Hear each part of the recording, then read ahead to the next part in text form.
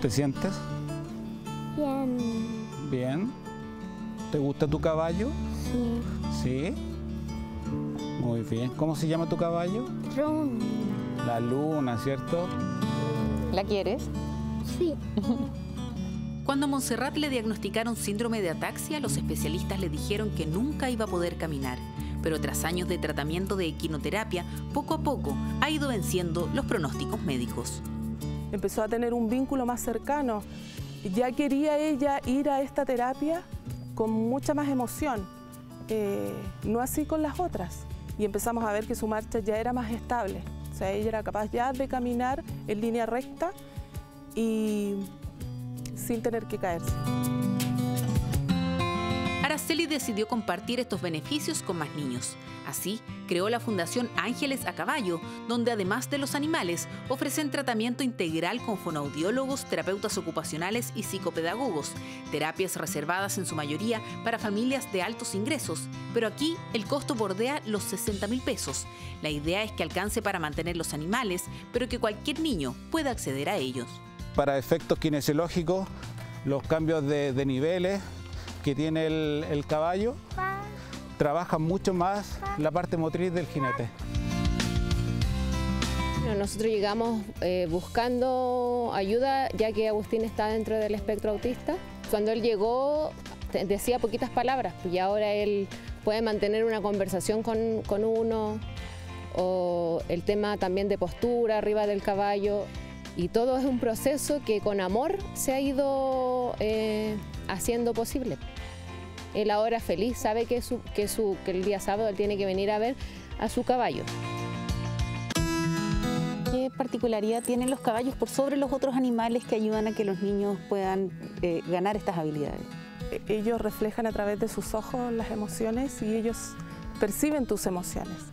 Ellos son capaces de sentir tu, tu presencia a kilómetros, estimulas la hormona de la felicidad ya solamente con estar en contacto con el caballo.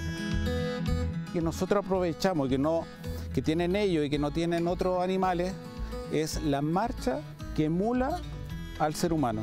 O sea, su caminar es, es similar a la marcha del ser humano. Tienen cuatro caballos, cada uno con su propia personalidad y gustos, pero todos dóciles y preparados para trabajar con niños. Ella eh, se llama Lluvia, es una yegua que llegó hace unos meses con nosotros. Eh, venía en una situación eh, muy, muy precaria, venía muy delgada, con una herida en su cara. Hoy día ya está completamente sana. Eh, y todo eso en base al cariño que uno le va brindando al caballo. Eso es lo importante que, que ellos perciben. Que tienen es que no funcionan desde marzo, por lo que ya no disponen de ingresos. Han estado costeando la alimentación de los caballos con sus ahorros, pero ya no pueden más. Nosotros en estos momentos estamos ya desde agosto para adelante, no tenemos ningún ingreso como para costear la comida de los caballos y el arriendo de nuestra parcela y, y gastos que se van sumando. Nosotros para cuatro, cuatro caballos hoy día podemos tener un fardo y medio se va diariamente. Lo que, lo que tenemos acá se va en un mes, fácilmente. ¿Qué pasa si ustedes dejan de existir?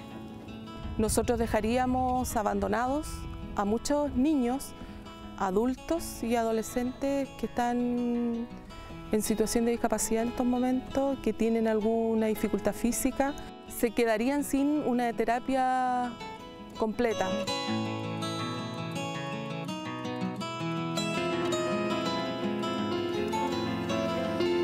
Esto dejar de existir y es por eso que estamos acá. Hay 45 niños que están eh, recibiendo el cariño, el apoyo eh, y, y la- y también la recuperación eh, y ganan nuevos talentos gracias a estos caballos que están acá que hoy día no están teniendo para comer, les queda comida para un mes solamente. Por eso es terriblemente urgente que nosotros nos activemos aquí en el Aquí Somos Todos para poder entregar soporte a este hogar.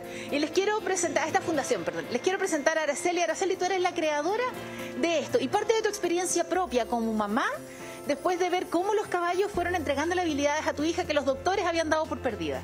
Así es. Hola, buenas noches. Hola.